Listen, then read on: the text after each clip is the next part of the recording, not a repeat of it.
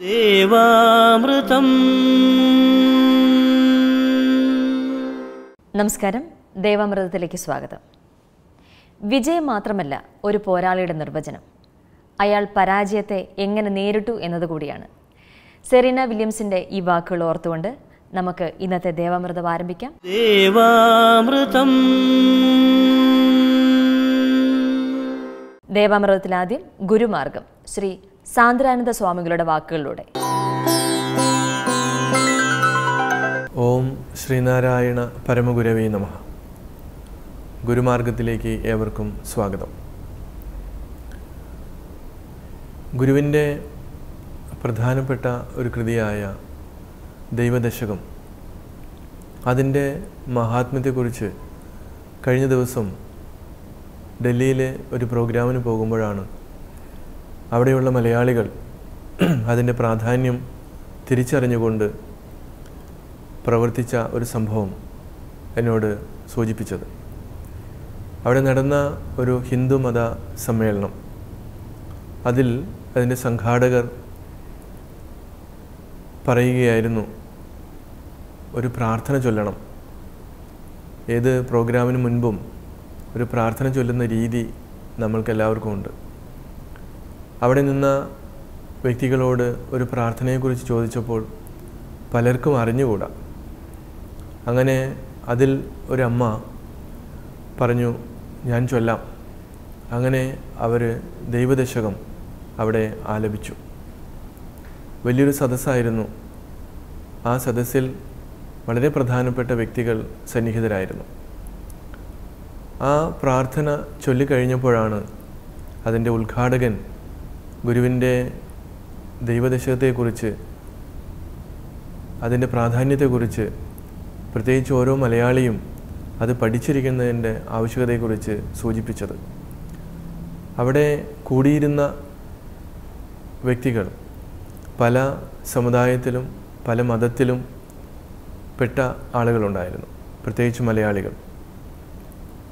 കൂടിയിരുന്നവരിൽ ഭൂരിഭാഗവും തൊണ്ണൂറ്റഞ്ച് ശതമാനവും അവർക്ക് ഈ ദൈവദശകത്തെക്കുറിച്ചുള്ള അവബോധം ഇല്ലായിരുന്നു. അതിന്റെ സംഘാടകനായിട്ടുള്ള പ്രസിഡന്റ് പിന്നീട് അനൗൺസ് ചെയ്തു നമ്മൾക്ക് ഇനിയുള്ള എല്ലാ പ്രോഗ്രാമിലും ഈ ദൈവദശകം തന്നെ നമുക്ക് പ്രാർത്ഥനാ ഗീതമായി നമ്മൾ ആലപിക്കണം. തന്നെയുമല്ല നമ്മുടെ ഓരോ കുടുംബങ്ങളിലും സന്ധ്യസമയത്ത് പ്രാർത്ഥന ചൊല്ലുമ്പോൾ ഈ കൃതി ചൊല്ലണം. നമ്മുടെ കുഞ്ഞുങ്ങളെ പഠിപ്പിക്കണം. അപ്പോൾ ശ്രീനാരായണ ഗുരുദേവൻ എത്രയോ വർഷങ്ങൾക്ക് മുൻപ് നൂറ് വർഷങ്ങൾക്ക് മുൻപാണ് ഗുരുദേവൻ ഈ കൃതി എഴുതിയത്. ഒരുപക്ഷെ നമ്മുടെ കേരളത്തിൽ ഒരുവിധം മലയാളികൾക്ക് അത് പരിചിതവുമാണ് പക്ഷേ ഇപ്പോഴും നമ്മൾ ഓരോ വേദികളിലേക്ക് ചൊല്ലും ചെല്ലുമ്പോഴാണ് പലപ്പോഴും അത് തിരിച്ചറിഞ്ഞിട്ടില്ല. ഈ ഉപനിഷത് സാര സർവസ്വമായിട്ടുള്ള പത്ത് പദ്യങ്ങളിൽ ഗുരുദേവൻ അതിന്റെ സാരത്തെ എങ്ങനെയാണ് ഒളിച്ചു വച്ചിരിക്കുന്നത് ലളിതമായ ഭാഷയിലൂടെ നമുക്ക് ഓരോരുത്തർക്കും ആസ്വദിച്ച് ചൊല്ലാവുന്ന രീതിയിൽ വച്ചിരിക്കുന്നത് നമ്മുടെ വളർന്നു വരുന്ന തലമുറയ്ക്ക് എന്തുകൊണ്ടാണ് നമ്മൾക്കിത് പറഞ്ഞു കൊടുക്കുവാൻ സാധിക്കാതെ പോകുന്നത്? അപ്പോഴാണ് ഒരു തിരിച്ചറിവ് നമുക്കുണ്ടാകുന്നത്. ഗുരുവിനെ ഒരു പ്രത്യേക സമുദായത്തിന്റെ പേരിൽ മുദ്ര കുത്തിയിരിക്കുന്നത് കൊണ്ടല്ലേ ഗുരുവിന്റെ കൃതികളിലേക്കും ഈ ഒരു അവജ്ഞ വരുന്നത്? അമൂല്യമായിട്ടുള്ള മുത്തുരത്നങ്ങൾ. രത്നങ്ങൾ. ഇത് മൂടി വെച്ചുകൊണ്ട് നമ്മൾ ഇരുട്ടിൽ തപ്പുകയാണ്.